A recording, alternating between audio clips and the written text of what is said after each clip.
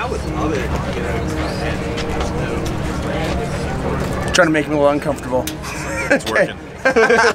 Okay, this is Tyler. I'm here with Vorsheer, and we are at the Overland Expo. Now, I, I have asked him, what could you do to a trailer, or even what would you need in a trailer to make it a perfect, long duration overland bug out vehicle? Yep. So, with that in mind, we're gonna go through this thing, talk about what it has, and show how you could take this, bug out, and never come back. Stick with me. Hey guys, it's Dad with Vorsheer. Uh, Tyler asked me to show you guys what we can do with this Vorsheer XOC from a sustainment standpoint. So you're, the world's ending, you're getting out, you're taking your trailer with you. What can you do to survive out of this thing for a very long duration? So right here in the back, we got some storage up here for cab in the cabinetry. You can store clothes, food, dry goods, canned goods, uh, lovely MREs that everybody loves to eat. Uh, that'll help you get your nutrients in for the first little while before you run out of your hard goods. So right below that, we got our kitchen area. Um, it runs on propane. The cool thing about this stove that we use is you can easily drop coals right into the bottom. So propane isn't a sustainable item, but you can always find wood. So you can get some coals going, drop them in the bottom, and you can cook. You can heat up uh, meals, or you can cook on it. That kind of thing. fuel. Yeah, it's not officially dual fuel, dual fuel, but in the event of emergency, you can make anything work. So.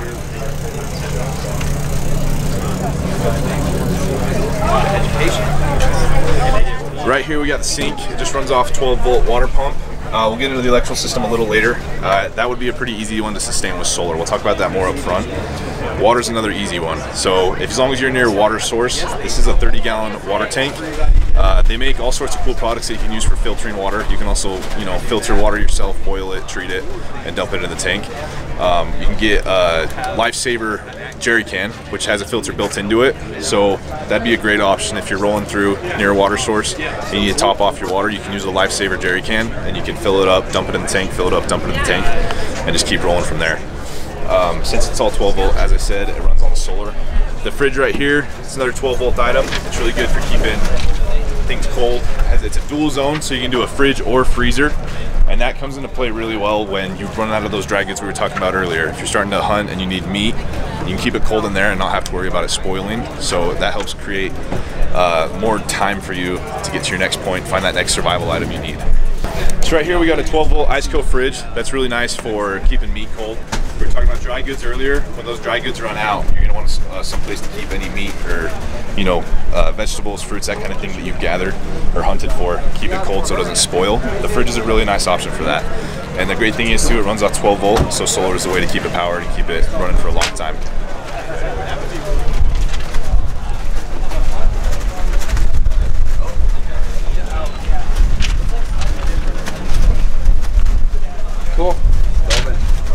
So right here on the driver's side, we got the hot water heater and the shower point. Uh, propane is one of those things in the event of emergency and long-term sustainment, it's not going to last. So hot water heater is going to be kind of a no-go unless you can come up with some kind of alternate source to heat water. The cool thing about this though is pump is 12 volt, so the shower is still going to work. You're still going to be able to shower, and in my opinion, cold shower is better than no shower. So right here we got the cabin, which is hard shelter, which is one of the key elements of survival. It's got AC and propane heater. Again, propane is one of those things that's not going to last, but in the event of emergency, you could always outfit it with some type of cast heater or uh, stove burning, wood burning stove, and that'll help keep it warm. The AC is a bit of an issue in a sustainment scenario. Uh, it takes a lot of power, so AC is something you might have to roll out, but you do have a 12 volt fan up here, and that shouldn't be an issue with the solar. You can keep that thing running, keep some air flowing through, which will help keep temperature down. And then there's additional storage in here. You got lighting for, you know, seeing in the dark, trying to pack items, that kind of thing. Yeah, so this is a queen size bed. It's a 60 by 80. You got a lot of room in here. It's just a regular inner spring, but you can outfit it with any type of bed you'd want. Um, they stay pretty warm. The roof's insulated to help control heat and keep heat inside.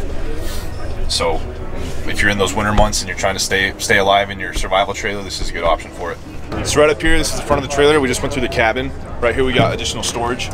Um, in a survivability, scenario, survivability and sustainment scenario, the more storage you have, the better off you're going to be. Um, you never know what you're going to need to take, what you're going to find, and those items that you do find, the items you do need to take, you got to keep them with you. We got MAXTRAX up here. Uh, if you're setting up a survival trailer, I would definitely recommend getting a set of MAXTRAX. They're great for recovery if you get stuck in mud, snow, sand. They're the easiest way to self-recover and not have to rely on additional sources for recovery.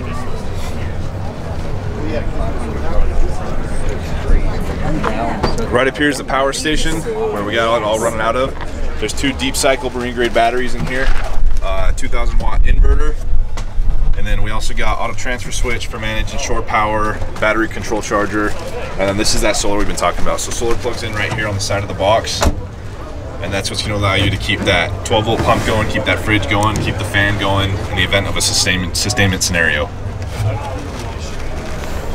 All this stuff rides on top of our frame, and the frame's the most important part of having a really suitable off-road survival trailer, a bug-out trailer. Um, if you build a trailer on a subpar frame, you're going to run into issues when you're having to carry all your gear with you, um, keep your food with you, and that's not something you want to leave behind. If your frame goes down, if you have failure on your frame, you're leaving all that behind, and that could be your life source. So it's really important to have that really solid base.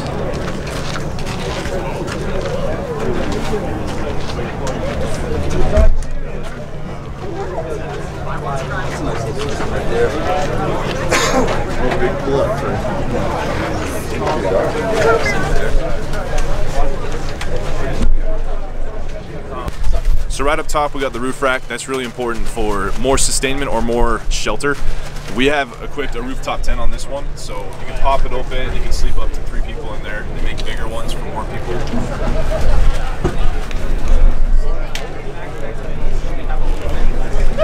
In the event that you do not need a rooftop tent, uh, you can do Pelican cases up top for more storage. Uh, anything you find you might need, survival items, key key items for survival, you can stow up on the top of the roof rack and have a nice secure place for them.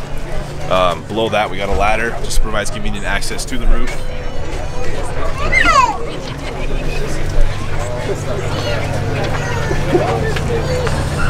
Right here, we got our jerry can box. So this is what I was telling you about earlier. Uh, the Lifesaver jerry can right here. You can fill it up with water, it'll filter it out for you. And you can top off water tank to keep the sustainment going on the side of water. You can put fuel in there as well. Yeah, you could also put fuel inside of a jerry can. So if you have items that require fuel, you can, you can carry fuel with you, top off generators, top off vehicles, that kind of thing. Perfect. So right here, we got our spare tire swing, and again, in the element of sustainment, survivability, uh, making it off-grid, to me, this is a necessity. Because just like we were talking about the frame, if something goes wrong with your frame, you're leaving all this behind. If something goes wrong with the tire, you're leaving it all behind. Uh, so the spare tire swing offers a really good option for in the event of a flat. You can swap it out and be moving again quick. You're not there trying to figure out how to patch it up or how to reseat a tire, that kind of thing. So, got additional water storage here on the side. Um, you can do fuel or water with these RotopaX. That's just another element to sustainment and surviving. The more you can carry with you, especially on a trail like this where you're not bearing the load, the better off you are. Right on. I might have done this one. Professional. So I think that he pretty much answered all my questions. Most of the time, I'm really concerned. I'm like, well, what about this? What about that? He talked about how you could take swamp water, stick it in the jug, throw it in the, the container. Yep. Talked about plan B for you run out of propane. One thing that I would personally do if I had one of these, these guys can't say this. I know that they can't say this. I would throw a stove in it. Right, I would put a fire stove in there in the back just because it'll heat everything up. Maybe even around here somewhere, I don't know. I would figure a way to stick a stove in it because you're not going to run out of wood, but you're inevitably going to run out of propane. But you won't run out of water if you go to the right location because you can clean it. You're not going to run out of sunlight, so this thing will run forever. Yeah. So this really would be a true answer to a ultimate survival bug out attachment to your already existing whatever. And I say that because how much does this weigh? 2,600 pounds dry. I guarantee that's like a Prius can pull that. Oh, yeah. so, not okay. None of us suggest that, but the point is, if you got a four-wheel drive vehicle or an off-road capable vehicle at all, it can pull this thing. Yep. Right. Yeah. And given the clearance, the extra tires, it can pull it wherever you're going to go. Yeah. So this is an excellent answer. Right on. Thanks, man. Thank you. We'll talk to you guys soon. Appreciate it. See ya. Got it. No, I mean, maybe one more here. You got any questions? Leave it down below. Thanks for watching.